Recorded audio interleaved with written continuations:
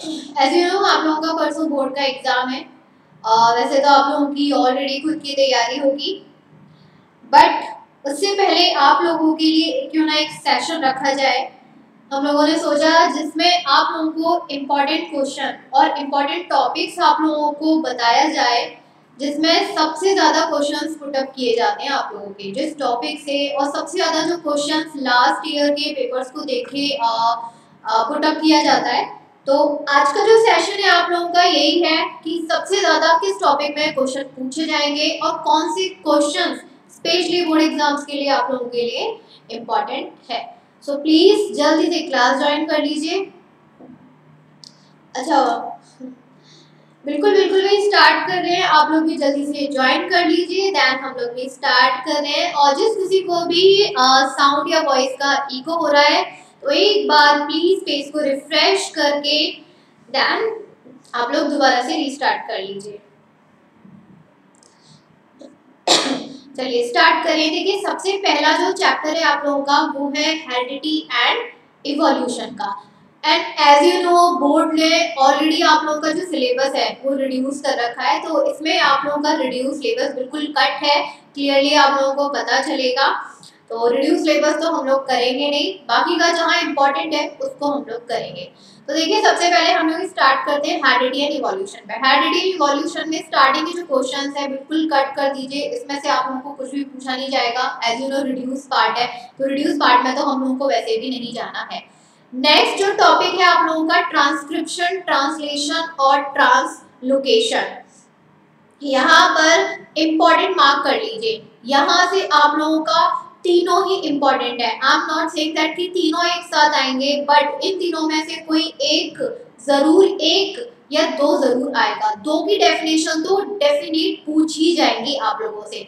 Transcription translation या translocation most most important mark कर लीजिए। डेफिनेट सी बात है कि आप लोगों का यहाँ से एक क्वेश्चन डेफिनेशन के लिए प्लस विद डायग्राम डायग्राम यहाँ पर आप लोगों को दिखाई दे रहे होंगे।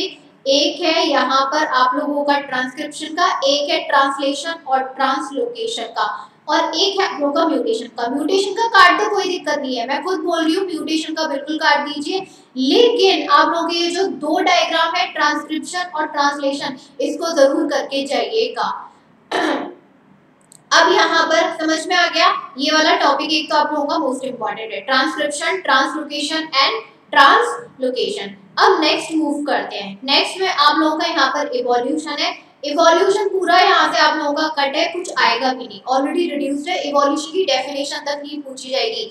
ना ही थ्योरी ऑफ़ इवोल्यूशन नहीं पूछा जाएगा, बिल्कुल कट कर दीजिए। नेक्स्ट आ जाते हैं एविडेंसेस ऑफ़ इवोल्यूशन पर। बेटा मेरी आवाज़ इको नहीं हो रही है। जिन लोगों की भी इको हो रहा है, ऐसा महसूस हो रहा है दैट की इको हो रहा है सो प्लीज़ आप अपना पेज को एक बार रिफ्रेश कर लीजिए। राइट? एक बार पेज को रिफ्रेश कर लीजिए बेटा। वॉइस इको नहीं होगा। I am not from Mumbai Maharashtra I am from Agra Uttar Pradesh first of all जिसका भी पूछा है। देखिए, यहाँ पर है आप लोगों का एविडेंसेस ऑफ़ इवोल्यूशन यहाँ पर आप लोगों को डेफिनेशन वगैरह नहीं पूछी जाएगी। क्या पूछा जाता है? यहाँ पर आप लोगों को मॉर्फोलॉजिकल एविडेंसेस के देखो क्वेश्चन किस तरीके से बनेगा वो देख लीजिए। मॉर्फोलॉजिकल एविडेंसेस में या तो आप लोगों को ये पूछा जाएगा आप लोगों को एग्ज़ाम्पल लिख दिए जाएँगे। एग्ज़ाम्पल में आप लोगों को तीन, चार फिर आप लोगों से पूछा जाएगा, ये किस एविडेंस के एग्ज़ाम्पल है? या फिर सिंपल आप लोगों से क्वेश्चन पूछ सकते हैं कि मॉर्फोलॉजिकल एविडेंस की डेफिनेशन लिखिए विद एग्ज़ाम्पल तो एविडेंस तो सारे कर लेना। Morphological evidences anatomical evidences with example example गलती से भी मत भूल जाना। जहाँ आप लोग एग्ज़ाम्पल भूले वहाँ गड़बड़ हो जाएगी, क्योंकि एग्ज़ाम्पल के बेसिस पर ही आप लोगों को सबसे ज़्यादा पूछा जाता है। उसके बाद आप लोगों का वेस्टिजियल ऑर्गन वाला। वेस्टिजियल ऑर्गन के बाद पैलेंटोलॉजिकल एविडेंसेस सारे मार्क कर लीजिए बुक आपके पास अवेलेबल है बुक निकालिए, वहाँ से पूरा मार्क करते चलिए। मैं क्या क्या बता रही हूँ आप लोगों को। और ये आप लोगों को जो डायग्राम दिख रहा है ना structure of ground level and fossils वाला इंपॉर्टेंट मार्क कर लीजिए यहाँ से डायरेक्ट बुक लगाने का आप लोगों को यही फ़ायदा है कि यहाँ पर आप लोगों को चीज़ें अच्छे से एक तो मैं टॉपिक भी बता सकती हूँ क्वेश्चन भी बता सकती हूँ प्लस डायग्राम भी साथ के साथ बता के चल सकती हूँ। तो यहाँ पर आप लोगों को जो डायग्राम दिखाई दे रहा है ना structure of ground level of fossils वाला मोस्ट मोस्ट मोस्ट इंपॉर्टेंट है। यहाँ पर मार्क आप कर लीजिए। ठीक है, इसके बाद यहाँ पर six embryological evidences embryological evidences के बाद आ जाइए डार्विन्स की थ्योरी ऑफ़ नेचुरल सिलेक्शन यहाँ से क्वेश्चन ज़रूर बनता है। यहाँ से क्वेश्चन क्या बनते हैं? अब ये देख लीजिए। यहाँ से क्वेश्चन बनता है कि डार्विन्स की थ्योरी यहाँ पर किस पर बेस्ड थी? डार्विन ने अपनी कौन सी बुक को पब्लिश किया था? वन मार्क्स का क्वेश्चन है। हमेशा एग्ज़ाम में लास्ट ईयर के क्वेश्चन पेपर को पुटअप करके देख लीजिएगा। हमेशा कहीं ना कहीं आप लोगों को कहीं ना कहीं वन वर्ड में एमसीक्यू में ये क्वेश्चन ज़रूर मिलेगा। डार्विन ने अपनी बुक को पब्लिश किया था। तो उस बुक का नाम यहाँ पर क्या था? ओके गॉट इट एक सेकेंड स्टूडेंट आप लोगों को इको हो रहा है क्या? सब लोगों को इको हो रहा है। सब लोगों को मेरे को बार बार लिख रहे हैं, ma'am echo echo echo echo इतना ज़्यादा हो रहा है क्या?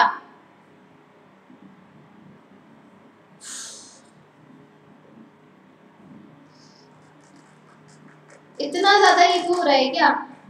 होना तो नीचे ही पता नहीं आप लोगों को क्यों हो रहा है। Okay just give me a okay just give me a second oh just give me a second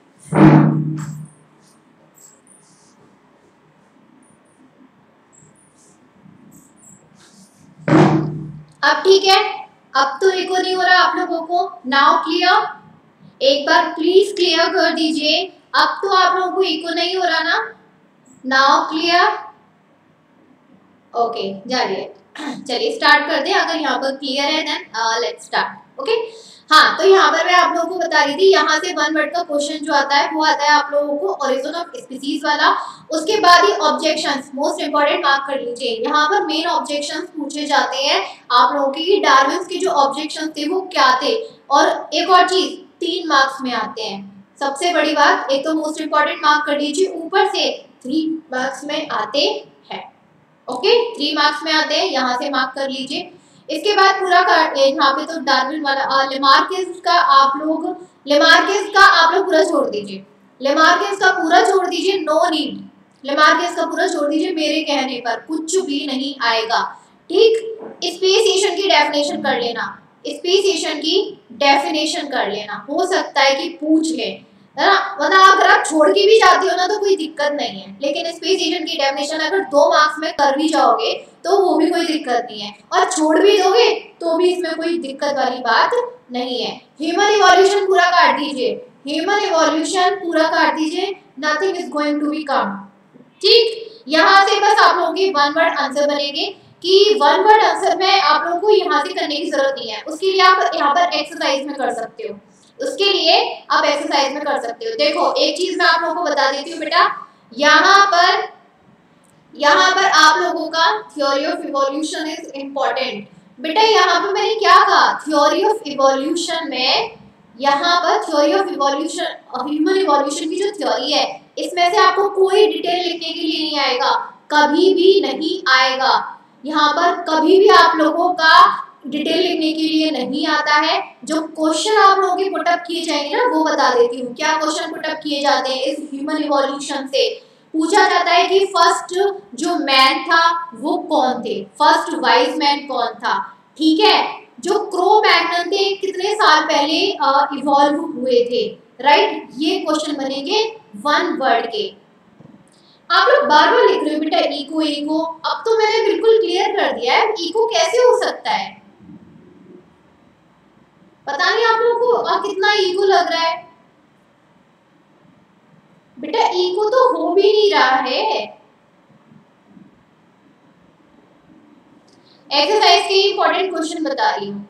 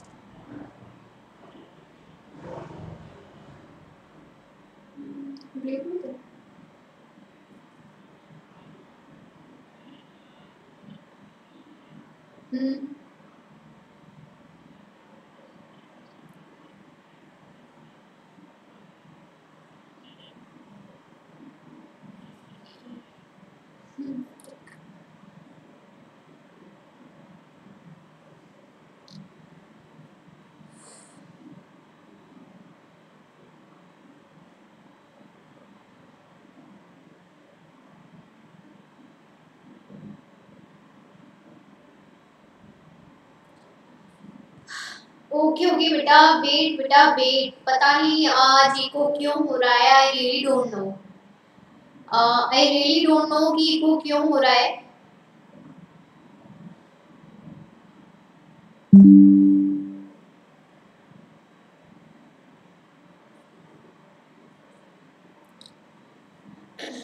Uh, अब देखिए अब बताइए थोड़ा सा नाउ थोड़ा सा ठीक है. अब थोड़ा सा ठीक है अब बताइए। अब ठीक है या साउंड क्लियर अभी भी इको है।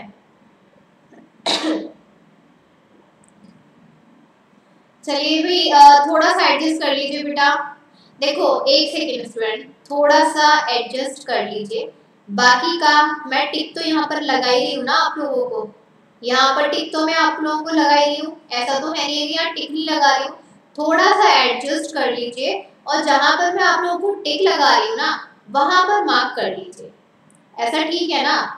ऐसा तो आप कर सकते हैं। आप अपनी बुक लीजिए और अपनी बुक लेने के बाद अपना जहाँ जहाँ मैं टिक लगाती जा रही हूँ, वहाँ टिक लगाते जाइए। Now it's better for you चलिए नेक्स्ट स्टार्ट करें। देखिए यहाँ पर अब मैं आप लोगों को बताती हूँ एक्सरसाइज में से। एक्सरसाइज में से आप लोगों का ये जो थर्ड वाला पार्ट है, पूरा कर लीजिए। ध्यान रखिएगा आप लोग कभी भी एक्सरसाइज मत छोड़िए। स्पेशली आप लोगों का यहाँ पर जैसे फिलअप्स हुए एमसीक्यूज हुए मैचिंग हुई और डिफाइंस हुए। राइट और जो डिफ्रेंशिएशन आते हैं, इनको आप कभी मत छोड़ के जाइए। तो आप लोगों का यहाँ पर जो फिलअप प्रेजेंट है, इसमें पूरा कर दीजिए। उसके बाद आप लोगों के और भी क्वेश्चन है। यहाँ पर जो शॉर्ट नोट्स हैं शॉर्ट नोट्स को पूरा करके जाइए। जो रिड्यूस्ड है, उसको आप रिड्यूस कर सकते हैं। शॉर्ट नोट्स आके पूरे करके जाइए। अब यहाँ पर जो एक्सरसाइज यहाँ पर आंसर द फॉलोइंग क्वेश्चंस में। आंसर द फॉलोइंग क्वेश्चंस में से आप लोगों का जो एफ़ वाला है।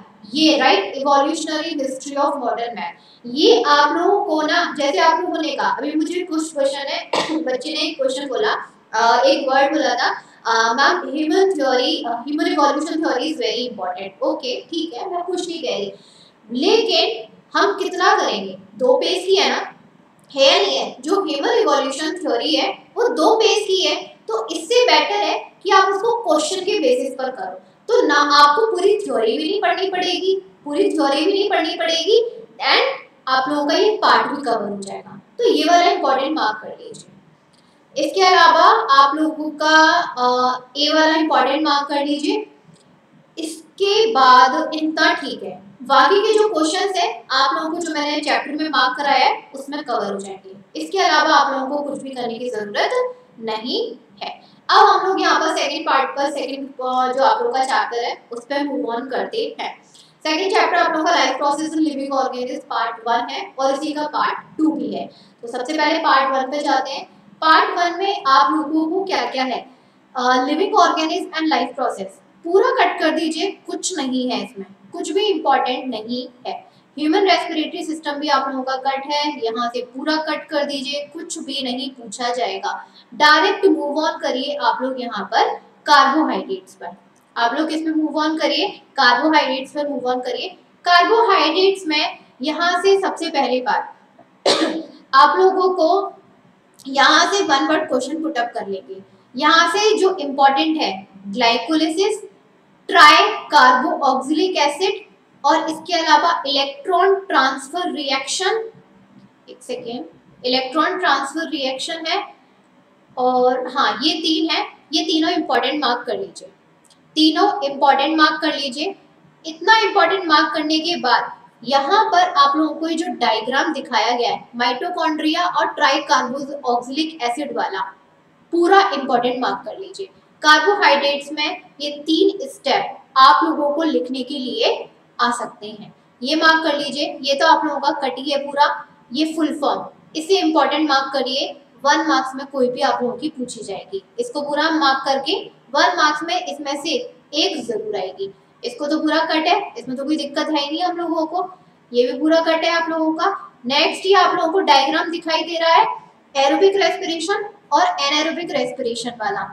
इंपॉर्टेंट मार्क कर लीजिए इसमें से एक बनाने के लिए आप लोगों को ज़रूर आएगा। एरोबिक आएगा या एनएरोबिक लेकिन आएगा ज़रूर।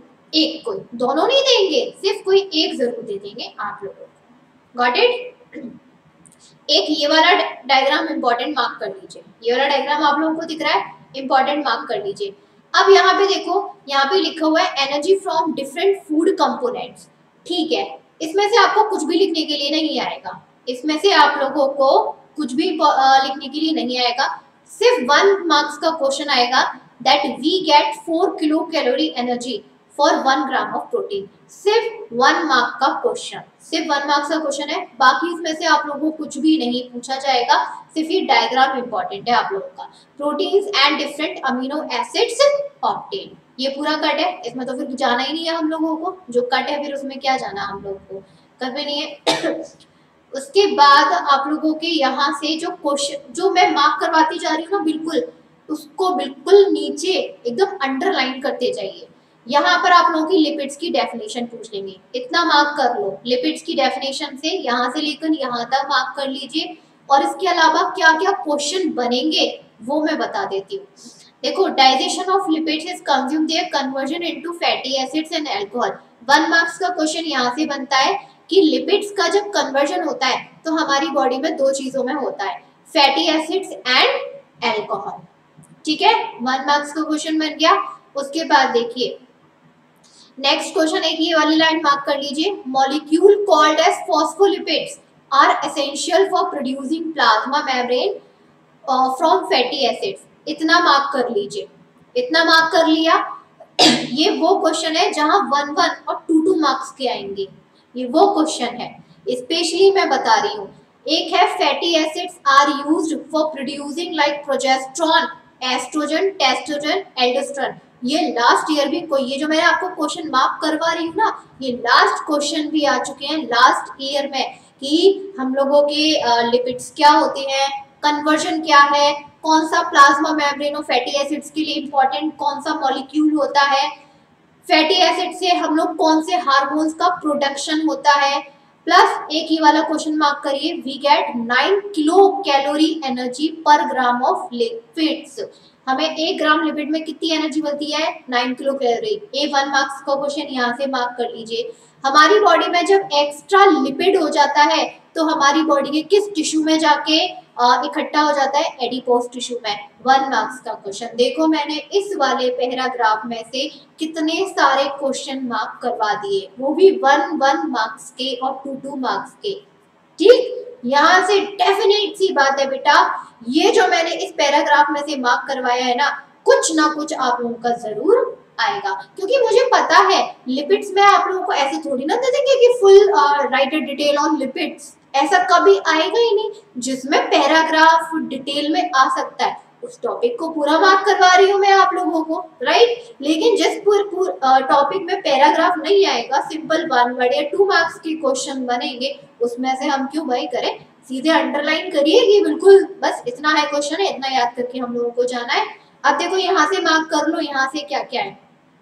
जितना मार्क करवाओ, अगर उतना भी करके चले गए ना, बेटा ये मेरी गारंटी है, आप लोगों का मतलब 90 परसेंट आप लोग कवर करके चले जाओगे। यहाँ पे देखो there are main six types of vitamin example this this this जिसमें से हम लोगों के ये फैट सॉल्युबल्स होते हैं और ये हम लोगों के वाटर सॉल्युबल होते हैं। वन मार्क्स का क्वेश्चन हो गया। अब यहाँ पे देखिए क्वेश्चन आप लोगों से एक ये भी पूछ सकते हैं कि ग्लाइकोलिसिस और क्रैप साइकिल में कौन से प्रोडक्ट बनते हैं? F A D H two N A D H two one marks का क्वेश्चन हो गया। नेक्स्ट विटामिन बी टू का नाम क्या है? राइबोफ्लोबिन विटामिन बी फाइव का नाम क्या है? निकोटोनामाइड ये है वन वन मार्क्स के क्वेश्चन। बेटा, आप लोग यहाँ पे किसी ने लिखा है कि मैम थ्री और फोर मार्क्स की भी बताइए। बेटा, मैं आप लोगों को जो टॉपिक मार्क करवा रही हूँ ना, कि ग्लाइकोलिसिस पूरा कर लेना इलेक्ट्रॉन चेन रिएक्शन पूरा कर लेना, बेटा, उसका मतलब क्या है? उसका मतलब है कि ये इस टॉपिक में से कम से कम तीन या चार मार्क्स का आएगा। लेकिन जहाँ मैं आप लोगों को अंडरलाइन करवा रही हूँ दैट मीन वहाँ वन या मैक्सिमम टू मार्क्स का क्वेश्चन बनेगा। और क्या करवा रही हूँ बेटा मैं? यही तो करवा रही हूँ। वो तो मुझे पता ही है कि आप लोगों को क्या करवाना है क्या नहीं करवाना। ये इसमें से पूरा पैराग्राफ काट दीजिए। यहाँ से आप लोगों को कुछ भी नहीं पूछा जाएगा। ठीक है यहाँ से आप लोगों को कुछ भी नहीं पूछा जाएगा। अब नेक्स्ट आ जाइए यहाँ पर आ, ये जो पूरा होता है आ, जो हम लोगों की सेल डिविजन होते हैं। सेल डिविजन में दो टाइप के होते हैं। सबसे ज़्यादा पूछा जाता है माइटोसिस। आप लोगों का माइटोसिस और मियोसिस दो है। मियोसिस बिल्कुल छोड़ दीजिए। मेरे कहने पर मियोसिस बिल्कुल छोड़ दीजिए। इतना सा भी नहीं पूछा जाएगा। सिर्फ़ माइटोसिस करके जाइए। माइटोसिस का कुछ थोड़ा सा आप लोगों को पूछ सकते हैं कि कौन से सेल्स में हम लोगों का माइटोसिस परफॉर्म होता है। तो ये आपको बताना पड़ेगा। माइटोसिस में दो स्टेप्स होते हैं। कैरियोकाइनोसिस और साइटोकाइनोसिस ये आपको बताना पड़ेगा। कैरियोकाइनोसिस चार स्टेप में कंप्लीट होता है। प्रोफेस मेटाफेस एनाफेस एंड यहाँ पर आप लोगों का टेलोफेस ठीक है? ये आ सकता है। ये जो आप लोगों का माइटोसिस वाला क्वेश्चन है, ये आ सकता है आप लोगों का तीन से चार मार्क्स में। इसीलिए मैंने इसमें आप लोगों को अंडरलाइन नहीं कराया। अगर मुझे लगता कि इसमें से सिर्फ़ या तो वन मार्क्स का क्वेश्चन बनेगा या दो मार्क्स का क्वेश्चन बनेगा तो मैं अंडरलाइन करा देती। लेकिन मुझे पता है कि ये थोड़ा सा लॉन्ग टॉपिक है, और इसमें से सिर्फ़ तीन या चार मार्क्स का ही क्वेश्चन बनेगा। तो ये आपको बेटा पूरा करना पड़ेगा। इसका with diagram with diagram diagram मत छोड़ के आना। बेटा मैंने आप लोगों को अगेन रिपीट किया। मियोसिस बिल्कुल छोड़ दीजिए। मियोसिस मेरे कहने पर बिल्कुल छोड़ दीजिए। कुछ नहीं पूछा जाएगा आप लोगों को। मियोसिस में से। ठीक है बाकी मियोसिस में से आप लोगों को कुछ भी पूछा नहीं जाएगा। अब आ जाइए बेटा यहाँ पर एक्सरसाइज में। एक्सरसाइज में यहाँ पर जो फिलअप्स है, पूरे कर लीजिए। और बेटा यहाँ पर, बेटा मैं इंपॉर्टेंट डायग्राम्स बताती चल रही हूँ। क्या नाम है? मयूरेश। मयूरेश, मैं इंपॉर्टेंट डायग्राम साथ के साथ बताती चल रही हूँ। डोंट वरी जहाँ पर इंपॉर्टेंट है, मैं मार्क करवा रही हूँ। सो डोंट वरी कुछ भी नहीं छूटेगा आपका। एंड बेटा मैंने आप लोगों को ये चीज़ दोबारा बोली। कि आई डोंट नो कि इको प्रॉब्लम क्यों हो रहा है। Really I don't know I am trying my best कि इको ना हो but why it is going so I don't really don't know मैंने बहुत तो देखा कि मतलब क्यों हो रहा है बट रियली सो मैं आप लोगों को देखो पेन से तो मार्क करवा ही रही हूँ ना तो बुक आपके पास अवेलेबल है। पेन से मार्क करते जाओ। That this part is important and this part is important so please cooperate okay चलिए, देखो बेटा, यहाँ पे फिलअप्स पूरे कर लीजिए। डेफिनेशन पूरी कर लेना। आप लोगों के एक्सरसाइज में, आप लोगों को पता है, एक्सरसाइज में से आप लोगों का 60 परसेंट एग्ज़ाम कवर होता है। ये चीज़ लिख लीजिए कि एक्सरसाइज में से कितना परसेंट कवर होता है आप लोगों का? 60 परसेंट आप लोगों का कवर होता है। तो एक्सरसाइज तो प्लीज़ बिल्कुल मत छोड़ के जाइएगा।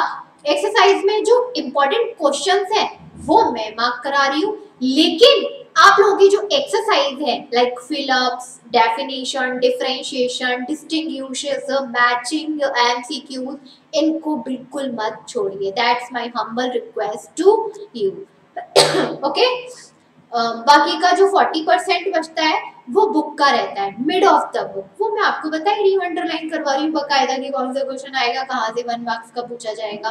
डेफिनेशन पूरा कर लीजिए। डिस्टिंग पूरा कर लीजिए।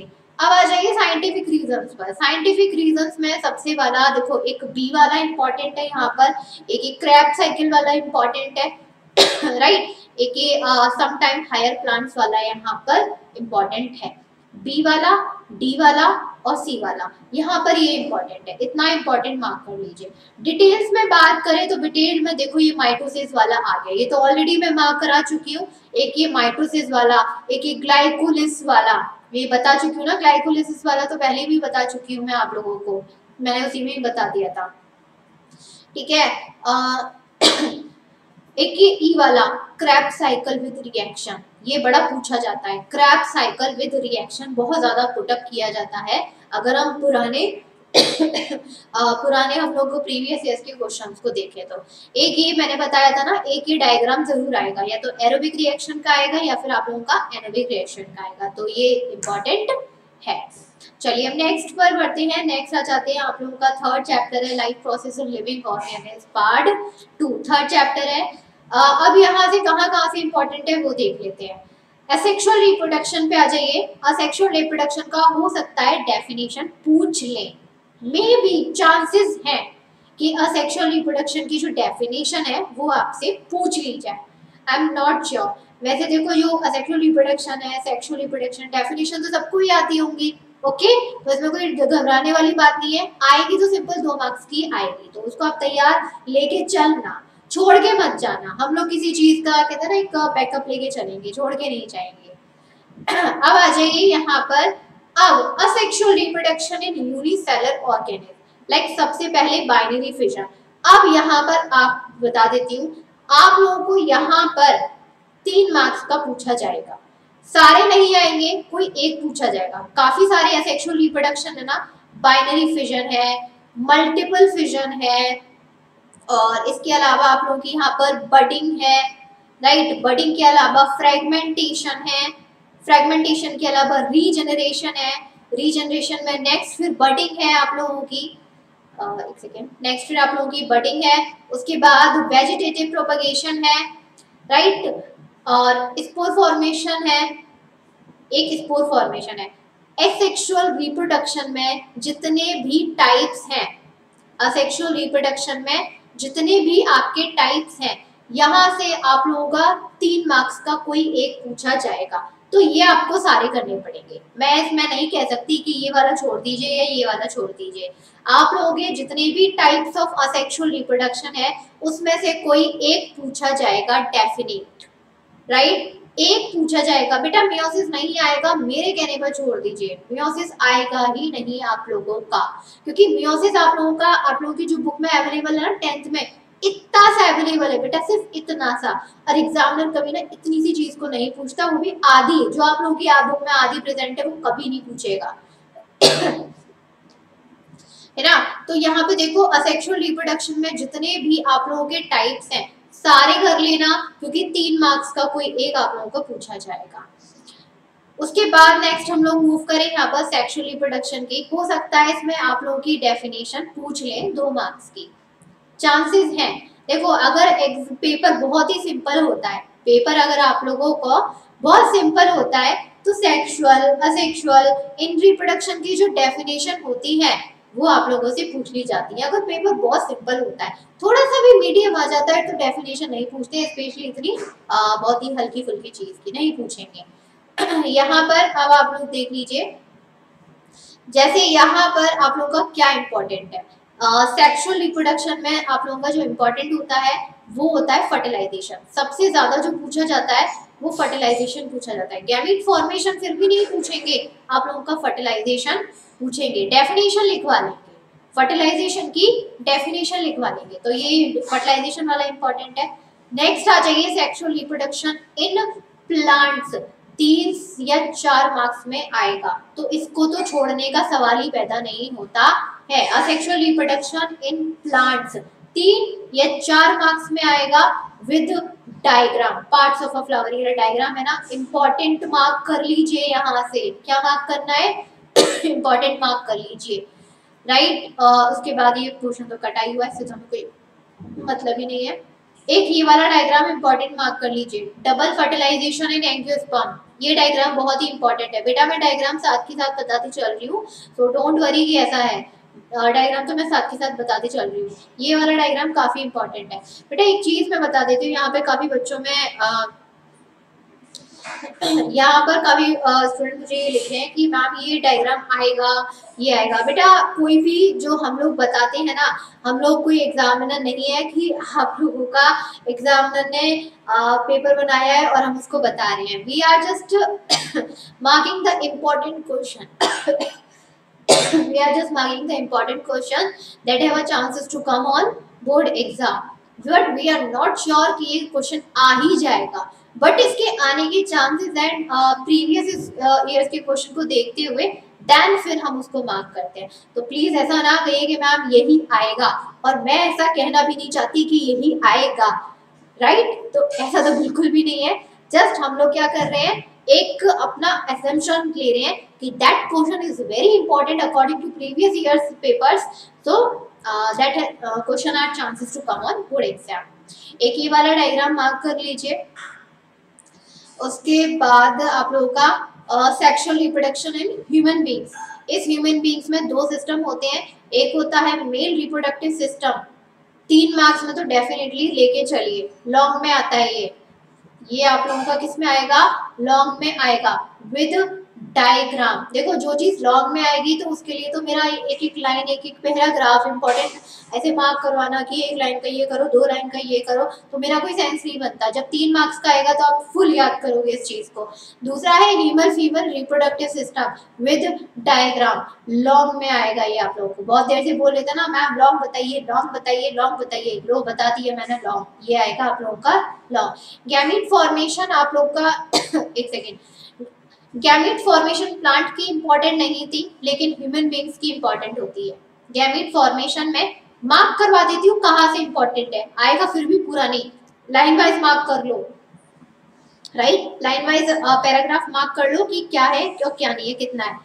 देखो at the time of birth there are two और four million immature oocytes in the ovary of female fetus and oocytes mature and release from ovary every month from the beginning of maturity at the age of menopause, जो कि 45 years होती है। इतना mark कर लीजिए। Right ये आप लोगों का मेनोपॉज इतना मार्क कर लीजिए बस। सिर्फ़ इतना पैराग्राफ मार्क कर लीजिए, इससे आगे आप लोगों का कुछ भी नहीं पूछा जाएगा। यहाँ से वन ये दो मार्क्स गैमेट फॉर्मेशन पूरा लिखने के लिए कभी नहीं आता। जितना मार्क करवाया है, सिर्फ़ उतना मार्क कर लीजिए नथिंग एल्स फर्टिलाइजेशन में तो कोई दिक्कत नहीं है। फर्टिलाइजेशन में तो सिंपल आप लोगों का डेफिनेशन पूछेंगे। ज़्यादा से ज़्यादा ये पूछ लेंगे कि मेनोपॉज कब होता है और मिनार्क कब होता है। इससे अलावा आप लोगों का कुछ भी नहीं पूछा जाएगा। फर्टिलाइजेशन की या तो डेफिनेशन डेफिनेशन के अलावा डेफिनेशन के अलावा या वन वर्ड का क्वेश्चन आप लोगों को।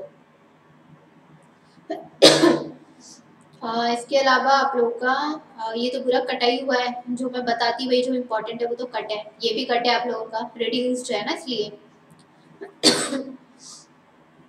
एक है यहाँ पर menstruation cycle menstruation cycle long में मार्क करिए।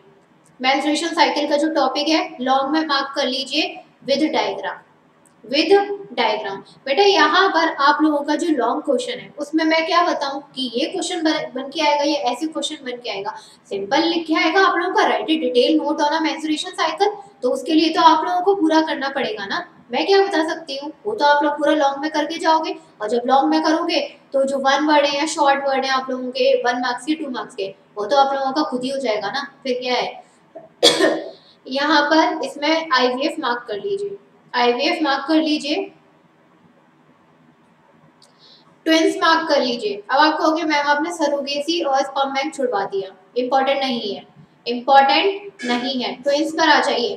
ट्विंस आप लोगों का लॉन्ग में आएगा। क्योंकि इसमें दो टाइप के ट्विंस होते हैं। एक होता है मोनोजाइगोटिक एक होता है आप लोगों का डाइजाइगोटिक दोनों की अगर डेफिनेशन लिखने के लिए आती है, दोनों की में से या तो दोनों लिखने के लिए दे देंगे, दोनों नहीं आएगी तो कोई एक तो ज़रूर आएगी। तो ट्विंस में दोनों याद करके जाना। मोनोजाइगोटिक भी याद करके जाइए, डाइजाइगोटिक भी याद करके जाइए। उसके अलावा पूरा छोड़ दीजिए nothing is going to be come reproductive health में पूरा छोड़ दो। पूरा छोड़ दीजिए रिप्रोडक्टिव हेल्थ में कुछ नहीं आएगा। अब हम लोग यहाँ पर मूव ऑन करते हैं एक्सरसाइज पर। एक्सरसाइज में आप लोगों का सबसे पहले कंप्लीट द फॉलोइंग चार्ट है। इंपॉर्टेंट मार्क कर लीजिए, हो सकता है आप लोगों से पूछ लिया जाए। मैंने बताया ना एक्सरसाइज आप लोगों का कितना 60 परसेंट पोर्शन कवर करता है एग्ज़ाम का। फिलअप सारे कर लीजिए। फिलअप्स सारे कर लीजिए। ये छोड़ दो कोई इंपॉर्टेंट नहीं है। ये छोड़ दीजिए कोई दिक्कत नहीं है। लेबल uh, डायग्राम्स ये जो डायग्राम्स आप लोगों को बोले गए स्केच करने के लिए ये सारे के सारे डायग्राम्स इंपॉर्टेंट है। नेम्स सारे कर लीजिए कुछ भी नहीं छोड़ना है। बाकी का इसके अलावा कुछ है भी नहीं आप लोगों का। ये जो क्वेश्चन है ये ऑलरेडी मैं आप लोगों को चैप्टर में बता चुकी हूँ। ठीक है?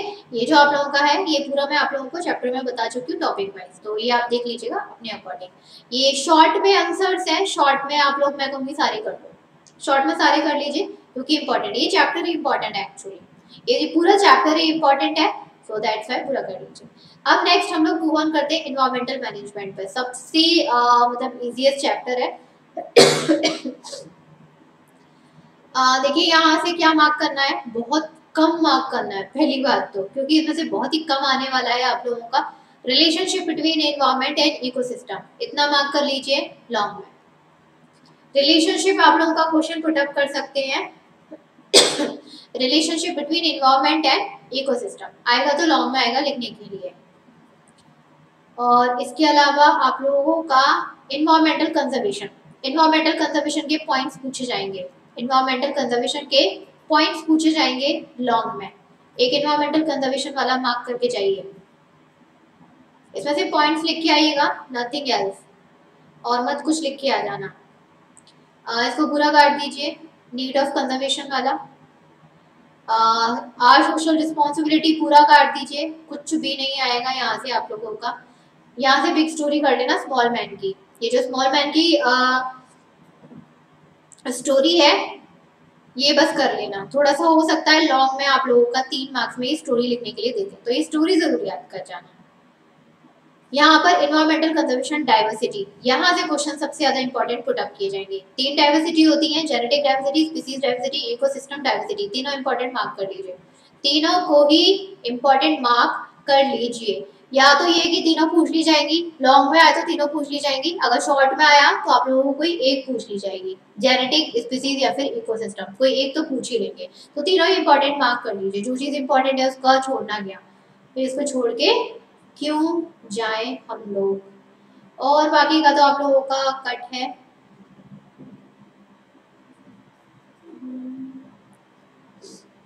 एक ही वाला है क्लासिफिकेशन ऑफ़ थ्रेटेड स्पीसीज बाकी का इंपॉर्टेंट था ही नहीं. बीच का इंपॉर्टेंट कुछ भी था ही नहीं.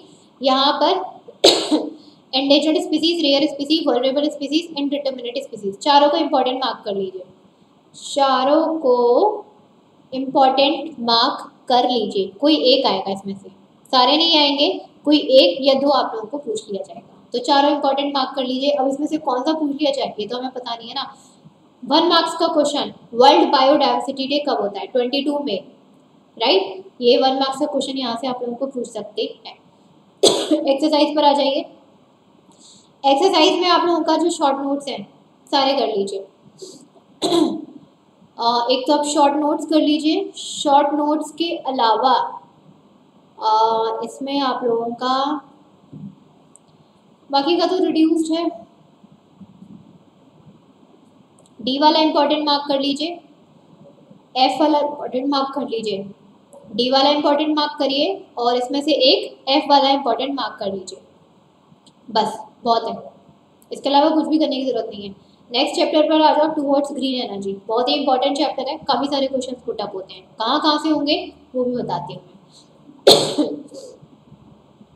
यहाँ पर आप लोगों का ये जो डायग्राम आपको दिखाई दे रहे हैं, सबसे पहले electromagnetic induction steam turbine and the schematic schematic of electric generator ये पूरा कर लीजिए। ये जो डायग्राम मैंने आप लोगों को मार्क करवाए हैं इलेक्ट्रोमैग्नेटिक इंडक्शन स्टीम टरबाइन वाला और स्कीमेटिक ऑफ़ इलेक्ट्रिक जनरेटर वाला। एक तो पहले तो पहली बात तो ये ये फिर आप मार्क कर लीजिए। और इसमें से आप लोगों का आ, क्या क्या है? जनरेशन ऑफ़ इलेक्ट्रिक एनर्जी में। आप लोगों का ये प्रिंसिपल है ना सबसे पहली बात यहाँ से क्वेश्चन पुटअप कर लेंगे कि जनरेशन ऑफ़ इलेक्ट्रिक एलिकल एनर्जी कौन से प्रिंसिपल पर बेस्ड है? वो है आप लोगों का इलेक्ट्रिको इलेक्ट्रोमैग्नेटिक इंडक्शन पर किसने इन्वेंट किया था? माइकल फेराडे ने किया था। और इनका प्रिंसिपल क्या था? यहाँ तक। ये बहुत इंपॉर्टेंट है। कम से कम दो मार्क्स से तीन मार्क्स में तो पूछेंगे ही पूछेंगे। प्लस इसका डायग्राम बनवा लेंगे आप लोगों को।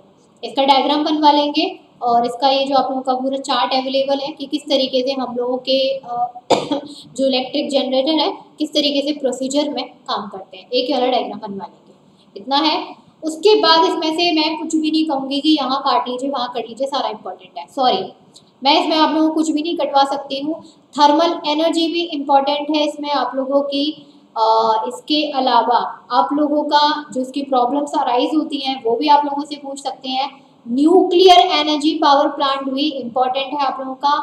ये वाला डायग्राम इंपॉर्टेंट है। न्यूक्लियर फिजन का चैन रिएक्शन का। That is very important right ये बहुत ही इंपॉर्टेंट है आप लोगों का। राइट नेचुरल गैस वाला भी इंपॉर्टेंट है। नेचुरल गैस के अलावा डायग्राम तो सारे इंपॉर्टेंट है। एक चीज़ और बता देती हूँ। डायग्राम तो सारे इंपॉर्टेंट है। इलेक्ट्रिकल एनर्जी एंड एनवायरमेंट ये तो पूरा कटाई हुआ है। हाइड्रो इलेक्ट्रिक पावर प्लांट वाला और आप लोगों का विंड एनर्जी वाला सारे इंपॉर्टेंट है बेटा। इसमें से मैं कुछ भी नहीं कटवा रही हूँ। आप लोगों के जितने भी अवेलेबल हैं रिड्यूस पार्ट को छोड़ के बाकी का आप लोगों का जितना भी है, आप लोगों को सारा करना है बेटा सॉरी क्योंकि ये चैप्टर ही बहुत इंपॉर्टेंट है. ये आप लोगों का एडवांटेज डिसएडवांटेज देखो सबसे पहली बात जनरेशन कैसे होता है? जितने भी इसमें डायग्राम अवेलेबल हैं, जिस जिस सोर्स से इलेक्ट्रिसिटी का जनरेशन होता है चाहे फिर वो न्यूक्लियर से हो, चाहे नेचुरल गैस से हो, चाहे कोल से हो, चाहे किसी भी चीज़ से हो, सारा इंपॉर्टेंट है। All questions all topics are important in this chapter तो सॉरी और आएगा। तो वन मार्क्स में तो देखो, बनी से एक बनेगा ही बनेगा। वन मार्क्स में टू मार्क्स में तो बनाएँगे ही बनाएँगे। प्लस लॉन्ग में भी आप लोगों का यहाँ से क्वेश्चन बनेगा बनेगा। पूरा पूरा लिखने के लिए आएगा विद डायग्राम ठीक है? अब एक्सरसाइज पर मूव ऑन करते हैं। तो एक्सरसाइज पे आप लोगों का देख सकते हो, जो क्वेश्चंस है इम्पोर्टेंट वो मार्क करवा सकती हूँ। यहाँ पर सेकेंड वाला इंपॉर्टेंट मार्क कर लीजिए। एक तो सेकेंड वाला इंपॉर्टेंट मार्क कर लीजिए। साइंटिफिक रीजन सारे कर लीजिए। साइंटिफिक रीजन यहाँ पर सारे इंपॉर्टेंट मार्क कर लीजिए। डिफरेंसेस दोनों मार्क कर लीजिए। डिफरेंसेस पूरा मार्क कर लीजिए, यहाँ पर आप लोगों का शॉर्ट नोट देख लीजिएगा। शॉर्ट नोट पूरा कर लीजिएगा। इलेक्ट्रिकल एनर्जी जनरेशन और इन्वायरमेंट पर सेवेंथ क्वेश्चन इंपॉर्टेंट मार्क करिए। एक्सप्लेन द फॉलोइंग सेंटेंस पूरा मार्क कर लीजिए। आंसर द फॉलोइंग क्वेश्चंस में दोनों मार्क कर लीजिए। और ये भी भाई पूरे ही मार्क कर लीजिए। मैंने बताया ना चैप्टर ही इंपॉर्टेंट है। ये चैप्टर ही पूरा इंपॉर्टेंट है तो इस चैप्टर में मैं क्या कटवाऊँ, क्या नहीं कटवाऊँ? जो रिड्यूस्ड है, उसको तो आप लोगों को छोड़ ही देना है, लेकिन जो रिड्यूस नहीं है, एक ये नीट एंड लेबल डायग्राम्स ये भी इंपॉर्टेंट है। कुछ भी ऐसा इसमें नहीं है जो मैं करवा सकती हूँ। बेटा फास्ट ही ले रही हूँ मैं, इतना फास्ट ले रही हूँ कि मेरा गला भी बैठ गया है।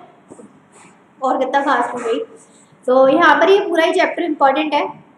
तो पूरा चैप्टर करके जाइए यहाँ से तो। यहाँ से तो भाई पूरा चैप्टर इंपॉर्टेंट मार्क है, पूरा कर लीजिए विद एक्सरसाइज चलिए अब नेक्स्ट चैप्टर पर आ जाते हैं आप लोगों का एनिमल क्लासिफिकेशन एनिमल क्लासिफिकेशन पूरा कर लो। एनिमल क्लासिफिकेशन पूरा कर लीजिए। इसमें भी मुझे नहीं लगता कुछ कटना, कटवाने वाली चीज़ है। हिस्ट्री तो वैसे भी कटी हुई है, वो तो वैसे भी नहीं आएगा। यहाँ पर ना आप लोगों को बेनिफिट्स आ सकते हैं। Benefits of animal classification long में बेनिफिट्स ऑफ़ एनिमल क्लासिफिकेशन आप लोगों के लॉन्ग में आ सकते हैं। बाकी के इसमें आप लोगों के जितने भी ये देखो एनिमिलिया किंगडम में प्लांट किंगडम में देखो जो रिड्यूस्ड है उसको तो पूरा रिड्यूस कर ही दीजिए लेकिन जो बचा हुआ पूरा पोर्शन है वो आप लोगों का पूरा का पूरा इम्पोर्टेंट है। देखो ये चैप्टर आप लोगों के कहते कहते ना एक आ, पूरे सिलेबस की जान कहते हैं ना पूरे सिलेबस की जान है ये वो चैप्टर्स हैं। जैसे कि अभी एनर्जी वाला चैप्टर था वो बहुत इंपॉर्टेंट था। ये आप लोगों का एनिमल क्लासिफिकेशन वाला है, ये भी बहुत इंपॉर्टेंट है। तो ये चैप्टर की जान है और इसमें से हमेशा आप लोगों के जो क्वेश्चन बनते हैं, बेटा लॉन्ग ही बनते हैं। वन मार्क्स में टू मार्क्स में बनेंगे। देखो लॉन्ग कर लिया तो वन मार्क्स में टू मार्क्स में क्या है? देखिए आइडेंटिफाई में पूरा कर लीजिए। ये आइडेंटिफी आइडेंटिफाई भी पूरा कर लीजिए। कुछ भी नहीं छोड़ना है आप लोगों को। इसके अलावा साइंटिफिक रीजन सारे कर लीजिए। एमसीक्यू पूरा कर लीजिए। साइंटिफिक रीजन पूरा कर लीजिए। एमसीक्यू सारे कर लीजिए। कुछ भी नहीं छोड़ना है आप लोगों को। ये वाला चार्ट पूरा कर लीजिए। ये वाला चार्ट भी पूरा कर लीजिए। कुछ नहीं छोड़ना है। बस। लेबलिंग का करने के लिए हो सकता है ये आप लोगों का आ जाए तो आप देख सकते हो। गॉट इट चलिए नेक्स्ट मूव ऑन करते हैं। उसके बाद आता है आप लोगों को इंट्रोडक्शन टू माइक्रोबायोलॉजी ओके देखिए यहाँ से क्या क्या इंपॉर्टेंट है यहाँ पे जो सबसे ज़्यादा इंपॉर्टेंट है योगर्ट प्रोडक्ट्स यहाँ पे डेरी वाला तो है नहीं। योगर्ट वाला बटर वाला पूरा काट दीजिए। चीज़ प्रोडक्शन जहाँ से मार्क करवा रही उसे वही मार्क करिए। प्रोबायोटिक्स प्रोबायोटिक्स के अलावा ब्रेड ब्रेड के अलावा विनेगर प्रोडक्शन विनेगर के बाद माइक्रोबियल एंजाइम्स माइक्रोबियल एंजाइम्स क्या दिए जो आप लोगों को टेबल अवेलेबल है इंपॉर्टेंट मार्क कर लो। ये जो टेबल आप लोगों को दिखाई दे रही है, ये भी पूरा इम्पोर्टेंट मार्क कर लीजिए। ये वाली टेबल भी इम्पोर्टेंट मार्क कर लीजिए। ये पूरा कोई टेबल पूरा बनाने के लिए नहीं आएगी। यहाँ पर कोई पूरा टेबल बनाने के लिए नहीं आएगी। बल्कि आप लोगों को यहाँ से कोई एक वन मार्क्स का या दो मार्क्स का क्वेश्चन पूछा जाएगा। क्वेश्चन कैसे पूछेंगे वो देख ले। वो देख लीजिए। जैसे आप लोगों को बोलेंगे कि एंटीऑक्सीडेंट या विटामिन में कौन से माइक्रोबियल प्रोसेसिंग के थ्रू प्रोसेस उसको ऑप्टेन किया जाता है? तो वो है यहाँ पर ascorbic acid vitamin C vitamin twelve और विटामिन टू के थ्रू इस तरीके का क्वेश्चन बनेगा। या फिर हो सकता है कि इम्पा किसी भी फ़ूड में एसिडिटी के लिए कौन से माइक्रोब्स के थ्रू प्रोडक्शन होता है? सिट्रिक मैलिक और लेक्टिक एसिड इस तरीके से क्वेश्चन आएगा। पूरी टेबल नहीं आएगी बनाने के लिए। सिंपली ऐसे वन वर्ड के या टू मार्क्स के क्वेश्चन आपसे पुट अप किए जाएँगे। एंटीबायोटिक्स में सिर्फ़ नाम याद कर लीजिए। एंटीबायोटिक्स में कुछ नहीं पूछा जाएगा। सिर्फ़ आप लोगों को वन वर्ड का क्वेश्चन पूछा जाएगा नेम सम एंटीबायोटिक्स तो उसमें आपको कहाँ से कहाँ मार्क करना है वो बता देती हूँ। एंटीबायोटिक्स से लेकर आप यहाँ पर एप्सेट्रा वेनोमाइसिन यहाँ तक मार्क कर लीजिए नथिंग और एक लास्ट वाला है ना rifamycin is very effective against tuberculosis एक ये वाला मार्क कर लीजिए। ठीक है? सिर्फ़ इतना मार्क कर लीजिए, जहाँ से मैंने पैराग्राफ मार्क करवाया सिर्फ़ इतना मार्क करिए। सिंपल आप लोगों को एंटीबायोटिक्स के बारे में कुछ भी लिखने के लिए नहीं आएगा। सिंपल पूछेंगे नेम्स ऑफ़ एंटीबायोटिक्स या फिर क्वेश्चन पूछ लेंगे वन मार्क्स में कि टीबर क्लॉसिस के लिए कौन सी एंटीबायोटिक्स हमारी इफ़ेक्टिव होती है। यहाँ से आप लोगों के माइक्रोब्स ऑफ़ फ्यूज में वन टू थ्री यहाँ से आप लोगों का वन वर्ड क्वेश्चन बनेगा कि अर्बन एग्रीकल्चर इंडस्ट्रियल वेस्ट के लिए हमारे कौन सी गैस रिलीज़ होती है? स्मोकलेस फ्यूल कौन सा है? इथेनॉल है राइट जो कि ईस्ट सेक्रोमाइसिस की फर्मेंटेशन के टाइमिंग पर रिलीज़ होता है। फ्यूल ऑफ़ द फ्यूचर किसे कहते हैं? वन वर्ड के क्वेश्चन बनेंगे यहाँ से। कैसे? वन वर्ड के क्वेश्चन आप लोगों के यहाँ से बनेंगे। तो यहाँ से वन वर्ड के लिए मैंने बना दिया। ये इंपॉर्टेंट है बायोफ्यूल प्रोडक्शन बायोफ्यूल प्रोडक्शन आप लोगों का लॉन्ग में आएगा। बायोफ्यूल प्रोडक्शन आप लोगों का लॉन्ग में आएगा। माइक्रोबियल पॉल्यूशन कंट्रोल इसमें से तो आपको क्वेश्चन लिखने के लिए नहीं आएगा। देखो इसमें से देंगे क्या? हो सकता है लैंड फिलिंग साइड दे दें विद डायग्राम आप लोगों को लॉन्ग में दे देंगे डिटेल में लिखने के लिए लॉन्ग फिलिंग साइट्स का विद डायग्राम एक तो ये आ सकता है आप लोगों का। सीवेज मैनेजमेंट में आप लोग हम्म, कर लीजिए छोड़ गए मत। कर लीजिए हो सकता है आप लोगों को दे दिया जाए। क्लीन टेक्नोलॉजी में से आप लोगों का वन वर्ड क्वेश्चन बनेगा। क्लीन टेक्नोलॉजी में से वन वर्ड क्वेश्चन बनेंगे। कैसे बनेंगे? देख लीजिए। यहाँ पर आप लोगों को यहाँ पे जैसे फ़र्स्ट लिखा हुआ है some microbes remove the sulphur from fuels एक है आप लोगों का मेटल्स लाइक दिस दोनों ये इंपॉर्टेंट है। एक ये वाला है पेट्रोलियम uh, ऑयल जब रिलीज़ हो जाता है तो उसके लिए कौन कौन से बैक्टीरिया हैं जो हमारे उस पेट्रोल को हमारे पूरे पानी में से रिमूव करते हैं। यहाँ से वन वर्ड का अब किस तरीके से है? ये वाला पैराग्राफ कर लेना। ये वाला है ना, ये वाला पैराग्राफ बेटा ये वाला पैराग्राफ ज़रूर कर लेना। ये वाला पैराग्राफ पूरा कर लेना। लॉन्ग में नहीं आएगा यहाँ से लिखने के लिए, यहाँ से आपके शॉर्ट क्वेश्चन बनेंगे। वन वर्ड या टू मार्क्स के। आई मीन वन मार्क्स या टू मार्क्स के क्या है, आप लोगों के यहाँ से क्वेश्चन बनेंगे। तो इसीलिए ये वाला पूरा पैराग्राफ कर देना। किसी बैक्टीरिया का नाम पूछ लेंगे, कौन सी किस तरीके से होता है वो पूछ लेंगे। तो ये वाला पैराग्राफ करके जाना, बाकी छोड़ दो, कोई दिक्कत नहीं है। एक ही वाला पैराग्राफ कर लेना, कहाँ से कहाँ तक है वो भी बता देती हूँ। सल्फ्यूरिक एसिड से लेकर ये फेरोक्सीडेंस तक, सल्फ्यूरिक एसिड से लेकर फेरोक्सीडेंस तक, पूरा मार्क कर लीजिए। एक ही वाला है जियो वाला क्वेश्चन, यहाँ से वन वर्ड का, एक ही वाला पैराग्राफ मार्क कर लीजिए। माइक्रोबियल इनकॉबुलेंस माइक्रोबियल इन इंक्यूलेंस में से आप लोग सिर्फ़ बायो इंसेक्टिसाइड की डेफिनेशन कर लीजिए। पूरा छोड़ दो, जो माइक्रोबियल बायो इंक्यूलेटर्स वाला है, पूरा छोड़ दीजिए। सिर्फ़ बायो इंसेक्टिसाइड्स की डेफिनेशन कर लीजिएगा। बायो इंसेक्टिसाइड्स की डेफिनेशन कर लेना, और अगर इसमें से कोई बैक्टीरिया वगैरह का नाम है तो वो कर लेना। इसके अलावा कुछ भी मत करना, कोई दिक्कत नहीं है। फिलअप सारे कर लीजिए। मैचिंग सारे कर लीजिए। फिलअप सारे करिए, मैचिंग भी सारे करिए। आंसर द फॉलोइंग क्वेश्चंस में देख लीजिए कौन कौन से इंपॉर्टेंट है और कौन से नहीं है। बी वाला इंपॉर्टेंट मार्क कर लीजिए। ई e वाला इंपॉर्टेंट मार्क कर लीजिए। एच वाला इंपॉर्टेंट मार्क कर लीजिए। जो इंपॉर्टेंट मार्क करवा रही हूँ भाई उनको तो ज़रूर करके जाना। ये वाला जो कंसेप्शुअल पिक्चर है, पूरा मार्क कर लीजिए। साइंटिफिक रीजन आप लोगों को सारे करने हैं। ये वाला भी कंसेप्शुअल पिक्चर मार्क कर लीजिए। इंपॉर्टेंट और ये वाला भी।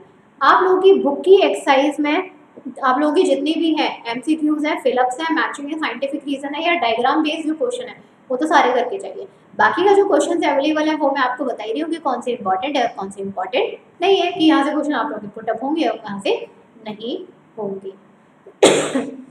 अभी और भी आंसर द फॉलोइंग देख लीजिए। एक बी वाला मार्क कर लीजिए। एक आप लोगों का ई e वाला मार्क कर लीजिए। और एक डी वाला मार्क कर लीजिए। ये तीनों इंपॉर्टेंट मार्क कर लीजिए। नेक्स्ट चैप्टर पे मूव ऑन करें। नेक्स्ट चैप्टर आप लोगों का cell biology and biotechnology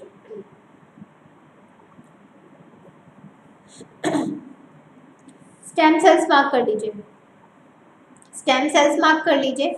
यहाँ से आप लोगों का टू मार्क्स का क्वेश्चन बनेगा डेफिनेशन के साथ। डेफिनेशन पूछेंगे आप लोगों को यहाँ से। स्टेम सेल्स में आप लोगों को मैम, आप तो सभी इंपॉर्टेंट दे रहे हो। बेटा इंपॉर्टेंट है इसलिए इंपॉर्टेंट दे रहे हैं नहीं होता तो नहीं देते। सब इम्पोर्टेंट हैं, तभी तो इम्पोर्टेंट दे रहे हैं। अब इम्पोर्टेंट नहीं होता तो हम क्यों देते? हम भी थोड़ा सा कम कर देते। लेकिन यहाँ से क्वेश्चन आप लोगों के ज़्यादा से ज़्यादा पुटअप होंगे। दैट्स वाई मैं आप लोगों को बता रही हूँ। स्टेम सेल्स की डेफिनेशन कर लीजिए। स्टेम सेल्स की डेफिनेशन कर लीजिए। बाकी का तो पूरा कट है ही है। उसमें तो कुछ करना है ही नहीं आप लोगों को। हाँ ये आप लोगों का सॉरी मैं बताना भूल गई। Stem cell preservation most most most important one या दो मार्क्स में क्वेश्चन पूछेंगे। स्टेम सेल्स प्रिजर्वेशन में वन या दो मार्क्स का, एक या दो मार्क्स का जो क्वेश्चन है, वो आप लोगों से पूछा जाएगा।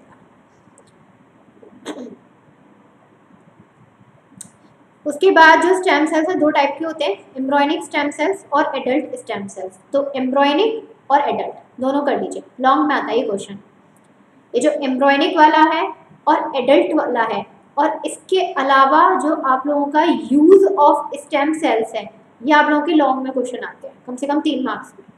लॉन्ग में क्वेश्चन आते हैं तीन मार्क्स में। क्रैप साइकिल कैंसिल है क्या? नहीं बेटा, कैलाश इतना सब होगा क्या हमसे?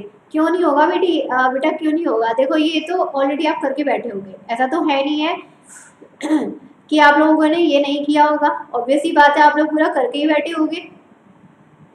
बस ये कि रिवाइज रिविजन करना है और इन्हीं टॉपिक्स पर मोस्ट आप लोगों का फोकस करना है। यही तो करना है। करके तो पहले से ही बैठे हो गए। बस आप लोगों को अब क्या करना है? बस उस चीज़ पे फोकस करना है कि हाँ अब हमने करा तो सारा है, लेकिन अब स्पेशली इन इन टॉपिक्स और इन क्वेश्चन पे फोकस करना है, क्योंकि that question are important rather than other topic इतना ही तो करना है बेटा। और है क्या? ठीक है, यहाँ पर adult stem cells uses of stem cells यहाँ पे आप लोगों का लॉन्ग का आता है। तो प्लीज़ इसको करके जाइए। ऑर्गन ट्रांसप्लांटेशन आप चाहो तो छोड़ भी सकते हो। ऑर्गन ट्रांसप्लांटेशन आप छोड़ भी सकते हो। पता है क्यों छोड़ सकते हो? मैं ये नहीं कह रही कि इम्पोर्टेंट नहीं है। राइट मैं ये नहीं कह रही कि इम्पोर्टेंट नहीं है। एक बात बताओ ऑर्गन ट्रांसप्लांटेशन या बॉडी का कौन सा ऑर्गन है जो हम डोनेट करते हैं? क्या इनको आप अपनी अपनी लैंग्वेज में नहीं लिख सकते हो? टॉपिक को थोड़ा सा कट करो। टॉपिक को थोड़ा सा अपनी तरफ़ से भी कट करो ना। कि हाँ इस टॉपिक को हम अपनी लैंग्वेज में, अपने माइंड से, अपने माइंड में कब से लिख सकते हैं। तो उस टॉपिक को तो अपने आप ही खत्म कर दो। आपको क्या लगता है ऑर्गन ट्रांसप्लेटेशन या फिर ऑर्गन डोनेशन ये टॉपिक इंपॉर्टेंट नहीं है? है। ये इंपॉर्टेंट है।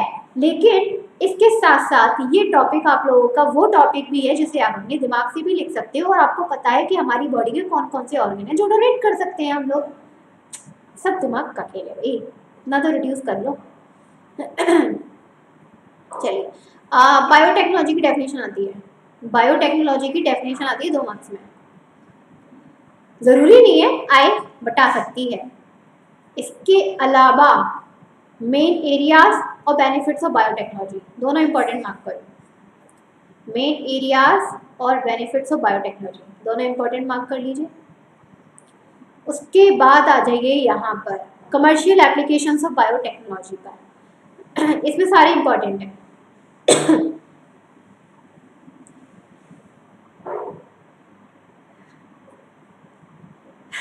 अच्छा मैम के हिसाब से पूरी बुक इंपॉर्टेंट है। भाई, मेरे हिसाब से तो पूरी बुक क्या सब कुछ इंपॉर्टेंट ही है। मैंने कब बोला कि नहीं है? यहाँ पे ये जितने भी है ना, आप लोगों के यूजेस वाले sorry commercial application of biotechnology ये सारे इंपॉर्टेंट है अब आप कहोगे, मैम, सारे इंपॉर्टेंट मार्क करवा दिया इसमें। क्या करें बेटा? यहाँ से सारा इंपॉर्टेंट है। एनिमल हस्बेंड्री मैं नहीं मार्क करवाऊँगी इंपॉर्टेंट ह्यूमन हेल्थ नहीं मार्क करवाऊँगी इंपॉर्टेंट वैक्सीन एंड वैक्सीनेशन नहीं मार्क करवाऊँगी इंपॉर्टेंट एडिबल वैक्सीन में आप देख सकते हैं वन वर्ड का क्वेश्चन बनेगा। ठीक है? ट्रीटमेंट इंटरफेरॉन कट कर दीजिए जीन थेरेपी कर लीजिए। क्लोनिंग की डेफिनेशन आती है प्लस दो टाइप की क्लोनिंग होती है, दोनों आपको करनी पड़ेगी रिप्रोडक्टिव भी और थेराप्यूटिक भी। ओके वाइट बाइट टेक्नोलॉजी काट दीजिए। इन्वायरमेंटल एंड बायोटेक्नोलॉजी काट दीजिए। देखो कितना सारा कट करवा दिया। यहाँ से ये जो पॉइंट्स हैं इंपॉर्टेंट मार्क कर लो। यहाँ से आएँगे वन वर्ड के क्वेश्चन बहुत सारे। इंपॉर्टेंट मार्क कर दीजिए। ये जो आप लोगों को पूरा दिखाई दे रहा है, ये आप लोगों को पूरा दिखाई दे रहा है। एक दिन में इतना नहीं होगा। अच्छा तो वो एक बात बताओ, तुम्हें कह कौन रहा है कि एक दिन में इतना करो? क्या तुमने साल भर नहीं किया ये? एक दिन में करोगे? ये जो मैं बता रही हूँ, ये तो साल भर में किया जाता है। एक दिन में तो कुछ नहीं होता। कुछ अच्छा तुमने कुछ नहीं किया है। ये तो बहुत ही अच्छी बात है। देखो, यहाँ से ये जो पॉइंट्स हैं, सारे इंपॉर्टेंट मार्क कर लीजिए। यहाँ से वन वर्ड के क्वेश्चन आएँगे। पैराग्राफ नहीं आएगा वन वर्ड के क्वेश्चन आएँगे यहाँ से आप लोग फ़ूड बायोटेक्नोलॉजी काट दो। DNA finger printing most most most most important DNA finger printing most most most most important cleaning of oil spillage in oceans mark कर लीजिए आ सकता है। ग्रीन रिवॉल्यूशन मार्क कर लीजिए। वाइट रिवॉल्यूशन मार्क कर लो। भाई इतना कटवाया है तो कुछ आएगा भी। ब्लू रिवॉल्यूशन मार्क कर लीजिए। फर्टिलाइजर्स काट दो। वो तो अपने आप भी लिख सकते हो। इंसेक्टिसाइड्स काट दो। डीडीटी फ़ार्मिंग काट दीजिए। एपीकल्चर काट दो। और यहाँ पे कल्टीवेशन ऑफ़ मेडिसिन प्लांट काट दीजिए, सिर्फ़ ये मार्क कर लीजिए वन मार्क्स का एडल्टा वाला। देखो कितना कटवा दिया मैंने। देखो कितना सारा तो मैंने कटवा दिया। फ्रूट प्रोसेसिंग काट दीजिए, क्योंकि ये वो है जो आप अपने आप खुद लिख के आओगे। एपीकल्चर की डेफिनेशन आती है, इसके अलावा कुछ भी नहीं आता। एपीकल्चर की सिर्फ़ डेफिनेशन आती है। What is apiculture the rearing caring of honey bee the rearing caring of bees that is apiculture लिख नहीं सकते? इसको तो अपनी लैंग्वेज में लिख सकते हो ना? उसमें क्या इंपॉर्टेंट मार्क कर पाऊँ तभी तो कटवा दिए मैंने। ये वो हैं जो आप अपने आप लिखोगे। कुछ चीज़ें अपने आप लिखने के लिए भी छोड़ देनी चाहिए। फिलअप सारे कर लेना। एक्सरसाइज की बात करें तो। मैचिंग सारे कर लेना। रॉन्ग स्टेटमेंट सारे कर लेना। शॉर्ट नोट्स दोनों कर लेना। कोरिलेशन दोनों कर लेना। इस डायग्राम को दोनों कर लेना। क्वेश्चन पर देख लीजिए। ये वाला भी चार्ट पूरा कर लेना। क्वेश्चन देख लो।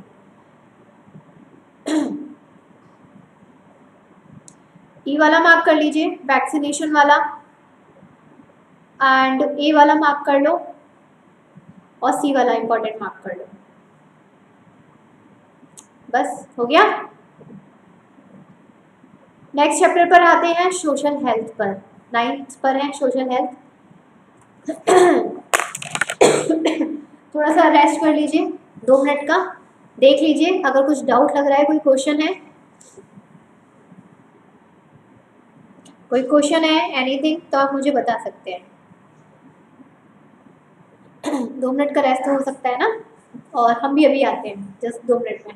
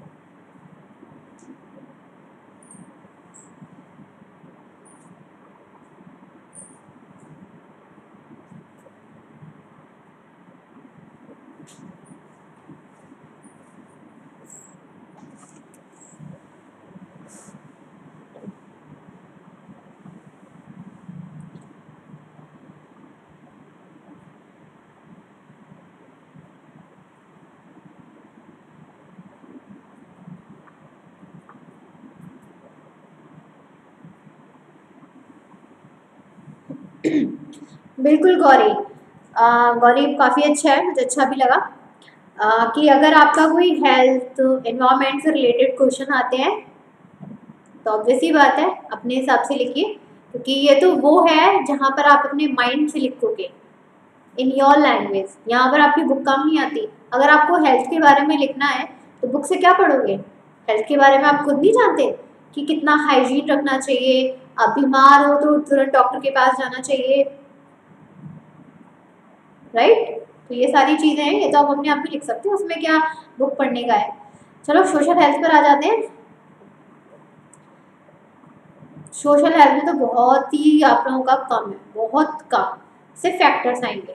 सोशल हेल्थ में आप लोगों के सिर्फ़ फैक्टर्स पूछे जाएँगे। Factor disturbing the social health mental stress है। लॉन्ग में आएगा। ये जो सोशल हेल्थ का जो फैक्टर्स आएँगे, ये आप लोगों के बेटा लॉन्ग में आएँगे। लॉन्ग में है जैसे तीन मार्क्स में या चार मार्क्स तो वहाँ पर आप लोगों को सारे लिखने पड़ेंगे। जैसे मेंटल स्ट्रेस हो गया लाइक एडिक्शन हो गया। एडिक्शन के अलावा आप लोगों का क्या था ये? इनक्यूबल डिसीज़ हो गया। वैसे पता है ये सोशल हेल्थ में मुझे नहीं लगता कुछ इंपॉर्टेंट मार्क करवाने की ज़रूरत है। मुझे तो पता ही और लगता है कि मैं सोशल हेल्थ मार्क ही क्यों करवा रही हूँ? सोशल हेल्थ मार्क ही क्यों करवा रही हूँ? क्योंकि सोशल हेल्थ बुक से ज़्यादा ना आप अच्छे से जानते हो। राइट बुक से ज़्यादा तो आप अच्छे से जानते हो सोशल हेल्थ के बारे में, क्योंकि आप स्कूल जाते हो, आप ट्यूशन जाते हो, आपका फ्रेंड्स ग्रुप है आप अपनी फैमिली में भी रहते हो। होता है कि नहीं होता? तो सोशल हेल्थ को बुक से ज़्यादा आप जानते हो, बेटा। बेटा, अभी लिख रहे हो ना फाइव मार्क्स में क्वेश्चन बताओ फाइव मार्क्स में क्वेश्चन बताओ। यहाँ पर कौन है ये? सचिन। सचिन, बेटा, एक बात बताइए, जहाँ पर मैंने आप लोगों को लिखवाया था long what is the meaning of long question that mean की हाइएस्ट मार्क्स राइट और रॉन्ग बेटा? जहाँ मैंने आप लोगों को मार्क करवाए हैं राइट लॉन्ग लॉन्ग लॉन्ग का मतलब क्या होता है? कि आप लोगों का एग्ज़ाम में जितने भी हाईएस्ट मार्क्स के क्वेश्चन आता है दैट मीन वो और सोशल हेल्थ में हाँ सोशल हेल्थ कर रहे थे। सोशल हेल्थ में क्या है? क्या मार्क करवाऊँ मैं सोशल हेल्थ में, बेटा? सोशल हेल्थ में मेरा सेंस ही नहीं बनता कुछ मार्क करवाने का, क्योंकि सोशल हेल्थ आप बुक से ज़्यादा आप जानते हो। हाँ ये जो मूवमेंट है, ये आप बुक से कर सकते हो। ये तो आप करके चाहिए दैट्स इंपॉर्टेंट हो सकता है लिखने के लिए आ जाए, लेकिन मैं सोशल हेल्थ में कुछ भी इंपॉर्टेंट मार्क नहीं करवा सकती हूँ सॉरी फॉर दैट क्योंकि ये आपको अपने खुद का लिखना पड़ेगा। क्वेश्चन आएगा कि स्ट्रेस क्यों होता है?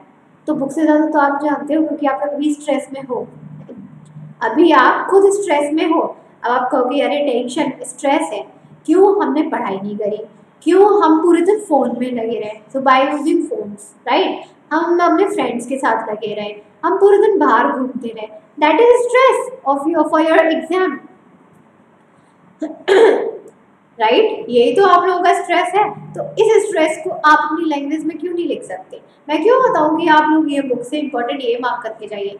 सोशल हेल्थ में सिर्फ़ मूवमेंट याद करके जाइए, बाकी का अपने आप लिख के जाना। गलत आदतों में पड़ जाना एडिक्शन हो जाना किसी चीज़ का दैट इज़ सोशल हेल्थ इसमें क्या मैं मार्क कर रहा हूँ आप लोगों को? जस्ट टेल कुछ नहीं करवा सकती ना मैं?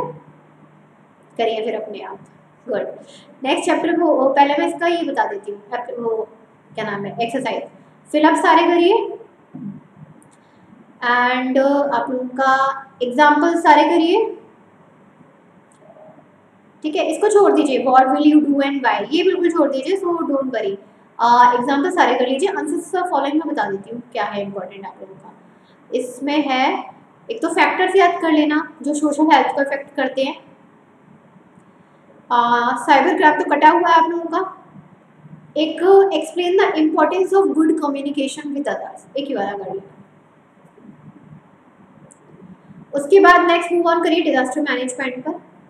हाँ फैमिली प्रेशर अच्छा फैमिली प्रेशर क्या होता है? भाई, कौन है शिवम बोरा। शिवम, कौन सा फैमिली प्रेशर आ गया तुम्हारे ऊपर?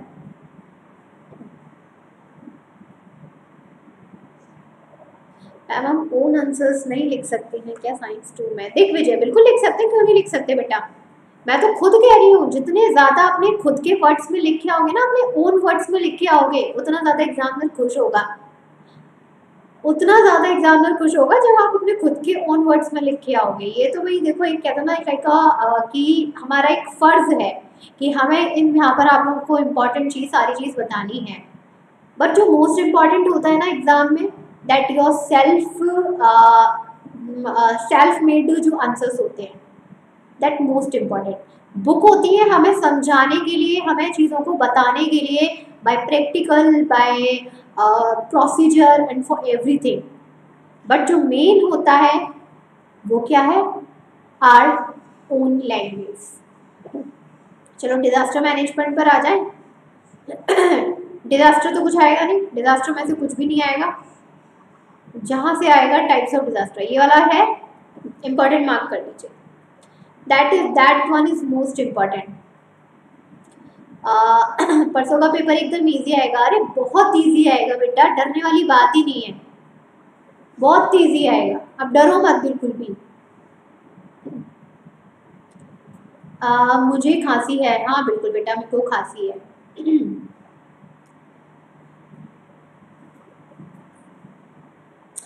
अपनी भाषा में चलेगा। अरे, अपनी भाषा में दौड़ेगा बेटा। डोंट वरी चलेगा भी नहीं, दौड़ेगा अपनी भाषा में।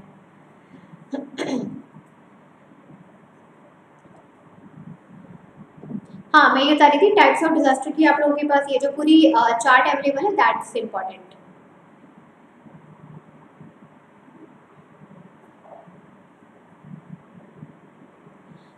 nature and scope of disaster में ये जितने भी फेसेस हैं दैट्स वेरी इंपॉर्टेंट ये आएँगे लिखने के लिए मेन जैसे phase of emergency transitional phase construction phase इतने हैं कंस्ट्रक्शन फ़ेज़ हाँ इतने हैं। आप लोगों की वो लिखने के लिए आएँगे दैट्स इंपॉर्टेंट वो इंपॉर्टेंट बाकी का डिज़ास्टर क्या होता है, कौन कौन से डिज़ास्टर हैं? एक ही वाला इंपॉर्टेंट है। ये जो आप लोगों को पूरा टेबल दिखाई दे रहा है प्री डिज़ास्टर मैनेजमेंट वाला और डिज़ास्टर मैनेजमेंट वाला, ये आप लोगों को करना है। ये आप लोगों को करना है, इसको इम्पोर्टेंट मार्क कर लीजिए मोस्ट मोस्ट मोस्ट इंपॉर्टेंट ये आता है आप लोगों का, वो भी लॉन्ग में आता है। शॉर्ट में नहीं आएगा लॉन्ग में आएगा। प्री डिजास्टर मैनेजमेंट वाला और पोस्ट डिजास्टर मैनेजमेंट वाला। Main aspects of disaster management cycle important mark कर लीजिए। Main aspects of disaster management cycle important mark कर लीजिए। ये इंपॉर्टेंट मार्क कर लीजिए। और हाँ कोशिश करिएगा, अगर आप लोगों को यहाँ पर कोई भी लाइक जैसे मेन एक्सपेक्ट्स हुए फैक्टर्स हुए, कुछ भी हुआ, यहाँ पे हमेशा चार्ट और टेबल बना के आओ तो दैट्स वेरी इंपॉर्टेंट वो ज़्यादा इंपॉर्टेंट है। कंपैरिजन टू आपका पैराग्राफ और वो सारी चीज़ें लिखने से।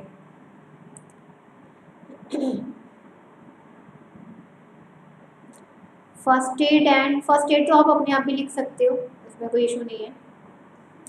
फ़र्स्ट एड किट, ये इंपॉर्टेंट है, ये जो चार्ट आप लोगों को बताया गया है, और एक आप लोगों का मॉक ड्रिल इंपॉर्टेंट है। मॉक ड्रिल और ऑब्जेक्टिव्स ऑफ़ मॉक ड्रिल ये इंपॉर्टेंट है। यहाँ से क्वेश्चन ज़रूर पुटअप होते हैं। एक मॉक ड्रिल वाले से होते हैं और एक आप लोगों का जो मॉक ड्रिल के ऑब्जेक्टिव्स होते हैं। एक यहाँ से आप लोगों के क्वेश्चन पुटअप होते हैं।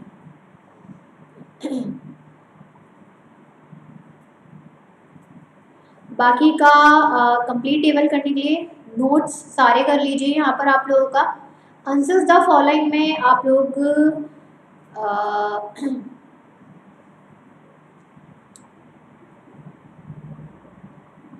ए वाला इंपॉर्टेंट मार्क कर लीजिए।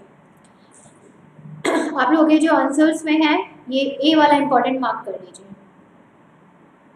एक डी वाला इंपॉर्टेंट मार्क कर लीजिए और एक ई e वाला इंपॉर्टेंट मार्क कर लीजिए।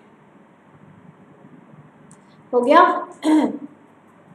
एक आप लोगों का लास्ट में ये दिया हुआ है सेवेंथ वाला। Identify the type of disaster यहाँ से वन मार्क्स का क्वेश्चन बड़े पूछते हैं।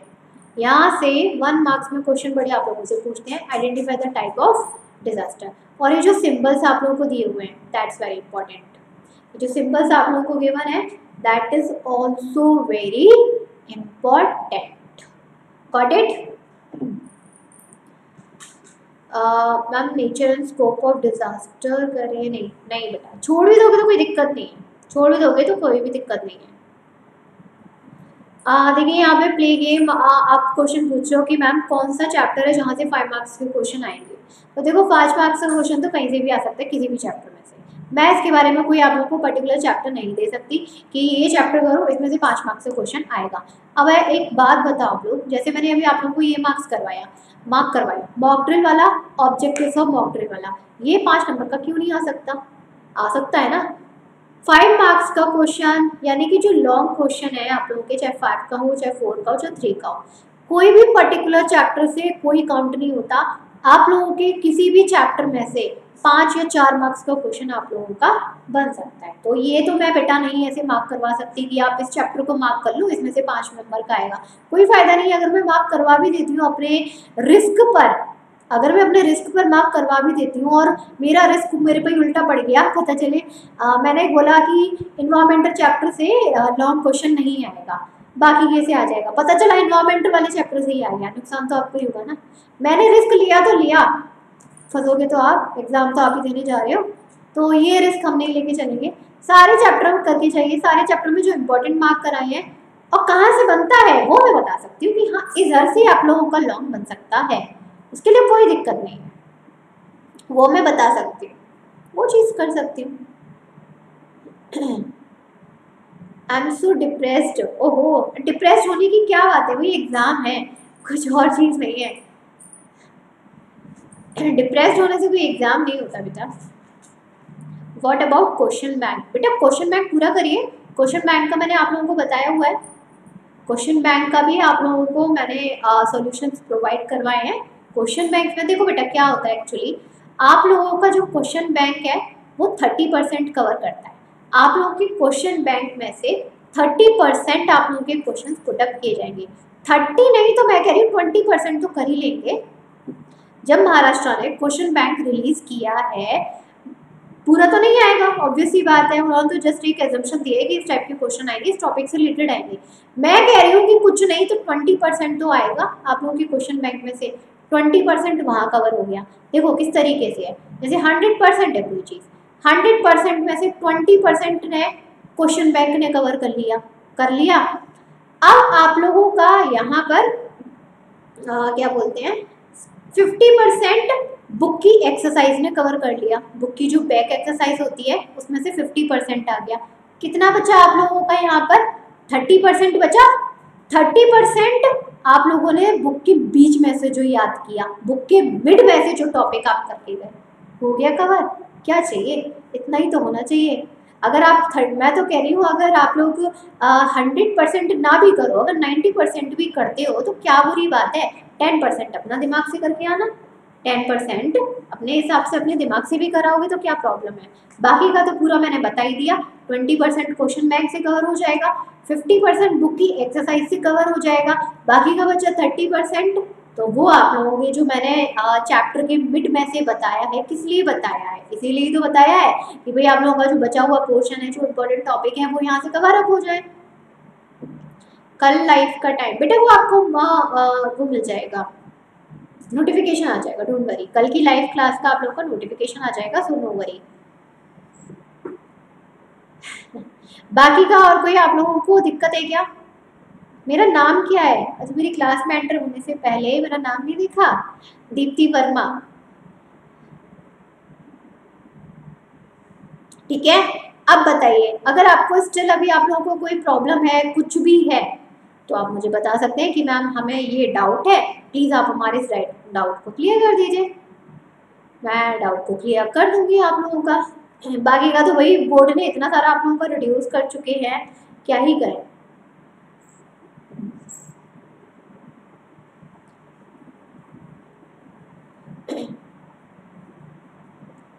क्या सॉल्यूशंस किसके solutions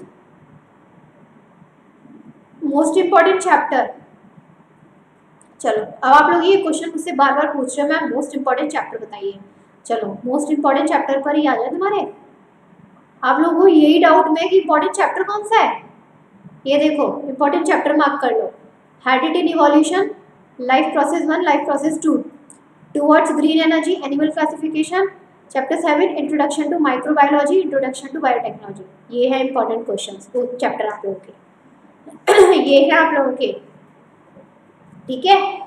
Hydrogen evolution life process part one life process part two towards green energy animal classification introduction to microbiology cell biology and biotechnology these are the important chapters बाकी के वो chapters हैं आप लोगों के जहाँ आप लोग सिर्फ़ एक बार पढ़िए और अपनी लैंग्वेज में डिस्क्राइब करके आइए आंसर लिख के आइए। वो है बाकी के चैप्टर्स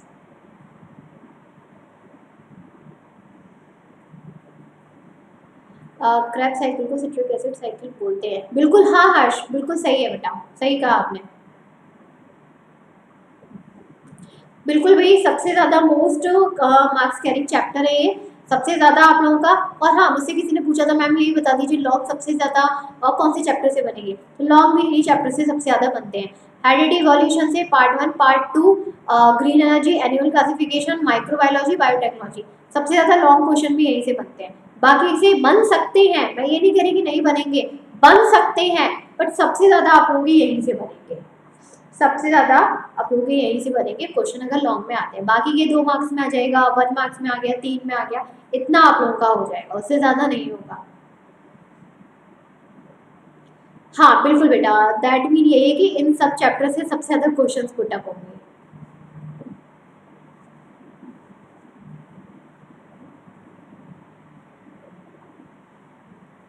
ठीक है? और सब क्लियर है? बाकी और कोई दिक्कत आप लोगों को? It's environmental management is important ma'am बेटा इन्वायरमेंटल मैनेजमेंट में मैंने बताया ना, जो इम्पोर्टेंट पार्ट है, वो मैंने बता दिया। बाकी इतना ज़्यादा इम्पोर्टेंट नहीं है। जो इम्पोर्टेंट पार्ट था डाइवर्सिटी वाला और रेयर जेनेटिक वाला, वो इम्पोर्टेंट था। वहाँ से क्वेश्चन पुट अप होता पूरा इम्पोर्टेंट नहीं है। अब आपसे क्वेश्चन पूछा जाए right and how to manage your environment तो उसे आप अपनी लैंग्वेज में लिख सकते हो ना। कि भाई कूड़ा नहीं करना चाहिए हाइजीन रखना चाहिए घर में हो, बाहर हो, क्या है, कैसे है? तो ये चीज़ आप अपना माइंडली कर लिया होगे। उसके लिए क्या इंपॉर्टेंट बता सकती हूँ? लेकिन हाँ जो हमारी डाइवर्सिटी है कौन कौन सी जेनेटिक्स हैं, उसके लिए आपको बुक पढ़नी है। तो वो मैंने आपको इम्पोर्टेंट मार्क करवा दिया। मैंने क्या कहा बेटा? मैं ये नहीं कह रही कि ये जो मैंने चैप्टर आप लोगों को छोड़े हैं फोर्थ नाइन्थ और tenth they are not important they are important but comparison to other chapters they are not very important because social health disaster management environment ये वो चैप्टर है जहाँ आप अपने दिमाग से अपने ओन लैंग्वेज में लिख के आ सकते हो। बाकी चैप्टर में आप नहीं लिख सकते। जब तक आपने इवोल्यूशन नहीं पढ़ा होगा, आप कैसे लिख के आ जाओगे? जब तक आपको नहीं पता होगा व्हाट इज़ माइक्रोबायोलॉजी कौन कौन से माइक्रोब्स कहाँ काम करते हैं, आप कैसे लिख के आ जाओगे? तो वो चैप्टर ज़्यादा इंपॉर्टेंट है क्योंकि उन्हें आपको बुक से पढ़ना है। लेकिन इन्वायरमेंट सोशल हेल्थ मैनेजमेंट को बिना बुक से भी पढ़ के चले जाओगे ना तो भी लिख के आ जाओगे। I am saying that so please understand my point right important question दो। वाह ये कौन है ये आरजे गेमर बेटा एक घंटे से डेढ़ घंटे से क्लास चल रही है। क्या चल रहा है? इंपॉर्टेंट क्वेश्चन दो। इतना मैंने टाइम से क्लास लिया। आपको मैंने क्या बताया फिर? आ, क्या लिखे बेटा? एमसीक्यूज में कट करके वापस वही आंसर लिखा। हाँ मिल जाएगी बेटा। क्या नाम है आपका? राजदीप। बिल्कुल मिल जाएगी कोई दिक्कत नहीं है। लेकिन ऐसा करना ही क्यों है? ये कट अनकट करना ही क्यों है? एक बार में आंसर लिखना है अपना? ठीक है? आई होप आप लोगों को बेटा डायग्राम भी बताया मैंने साथ के साथ। क्या नाम है? मयूरेश। मयूरेश, मैंने साथ के साथ डायग्राम भी बताए हैं, ऐसा नहीं है। डायग्राम मैं साथ में बताती चली हूँ। जो डायग्राम इंपॉर्टेंट है, उसमें वहाँ करवाया मैंने। ध्यान से देखिए। Is any out of text book question are coming in paper no बेटा, ऐसा कुछ नहीं होता। आपके जो सिलेबस और जो टेक्स्ट बुक में अवेलेबल है, वो वही आएगा। ऐसा कुछ बाहर से नहीं दे देंगे। फाइलम तो पूरा इंपॉर्टेंट है बेटा। वैष्णवी वैष्णवी जो एनिमल क्लासिफिकेशन और टुवर्ड्स ग्रीन एनर्जी है उसमें तो मैंने कुछ कटवाया ही नहीं है। इसीलिए ही नहीं कटवाया क्योंकि वो पूरा इंपॉर्टेंट है। मैं उसमें कुछ कटवा ही नहीं सकती। Whole chapter is important and whole phylum and every uh, green energy is very important मैं नहीं कटवा सकती सो सॉरी फॉर दैट चलिए आई होप यहाँ तक आप लोगों को क्लियर होगा। बाकी कि आप लोगों का जो कल हम क्लास लेंगे उसमें कोशिश करेंगे आप लोगों को कुछ क्वेश्चंस का एक सैंपल पेपर लेंगे एंड देन आप लोगों को सॉल्व करेंगे। उसका एक सॉल्यूशन आप लोगों को प्रोवाइड किया जाएगा जिससे आप लोगों को ये आइडिया हो जाएगा कि आपको अपने एग्ज़ाम में किस तरीके से प्रेजेंटेशन दे के आना है और कैसे कैसे आप लोगों को आंसर लिख के आएँगे। और एक दो पेपर सॉल्व कर लोगे तो ये कि आप लोगों को थोड़ा सा कॉन्फिडेंस आ जाएगा कि हाँ मुझे ये आंसर भी आता है मुझे ये आंसर भी आता है। ये बहुत बड़ी चीज़ होती है बच्चों में कि जब वो एक दो आ, पेपर को सॉल्व कर लेते हैं ना और उनको ज़्यादा से ज़्यादा क्वेश्चन आने लगते हैं उसको ज़्यादा से ज़्यादा सॉल्व करने लगते हैं। दे फील वेरी कॉन्फिडेंस तो वही कॉन्फिडेंस लेके आएँगे आप लोगों का डोंट वरी बट इट चलिए लोगों हम लोग कल मिलेंगे एक थोड़े से क्वेश्चन पेपर्स को सॉल्व करके ताकि आपका कॉन्फिडेंस लेवल थोड़ा सा अच्छा हो जाए for your exam okay student चलिए मिलेंगे आप लोगों को कल। uh, मेरी जब भी क्लास होगी मॉर्निंग में इवनिंग में उसका नोटिफिकेशन आपको मिल जाएगा। आप लोग के इसी चैनल पर। ओके स्टूडेंट चलिए bye bye take care all of you बाकी का रिविजन करते रहिए। जितने भी मैंने टॉपिक्स बताए चैप्टर आई मीन सारे चैप्टर्स में से एंड आप लोगों के क्वेश्चन हैं प्लीज़ उसको रिवाइज करते रहिए। एंड दैट्स माई रिस्पॉन्सिबिलिटी और माई कह सकते हैं कि एक तरीके से कि आप लोगों का यहाँ से एटलीस्ट 80 परसेंट या 90 परसेंट कवर चीज़ें हो जाएगी। आप लोगों को कोई प्रॉब्लम नहीं आएगी। ओके चलिए थैंक यू पढ़ते रहिए लोगों का और चीज़ें